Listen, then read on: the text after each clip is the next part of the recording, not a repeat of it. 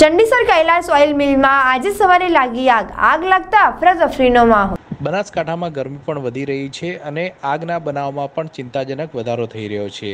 ગઈકાલે થરાદ અને પાલનપુર શહેરમાં પણ ગાડીઓમાં આગ લાગવાના બનાવો સામે આવ્યા હતા. જ્યારે આજે વાત કરીએ બનાસકાંઠા જિલ્લાના પાલનપુર તાલુકાના ચંડીસરની, તો ચંડીસર કૈલાસ ઓઇલ મિલમાં આજે વહેલી સવારે આગ લાગતા અફરાતફરીનો માહોલ સર્જાયો હતો. કોઈ પણ જાનહાની આ આગમાં થઈ ન હતી. ગઢ પોલીસ અને ફાયર બ્રિગેડની ટીમે ઘટના સ્થળે પહોંચીને આગને ઓલવવાના પ્રયાસ હાથ ધર્યા છે. કૈલાસ ઓઇલ મિલમાં વહેલી સવારે આગ લાગી હતી. હજુ સુધી આગ લાગવાનું કારણ સામે આવ્યું નથી, પરંતુ પ્રાથમિક તપાસમાં સામે આવી રહ્યું છે કે શોર્ટ સર્કિટના લીધે આગ લાગી હોઈ શકે છે.